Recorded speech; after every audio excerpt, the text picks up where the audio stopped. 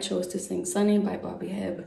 I love this song. It's always warmed my heart. It made me feel good and I wanted to make you guys feel good. So here we go. Sunny.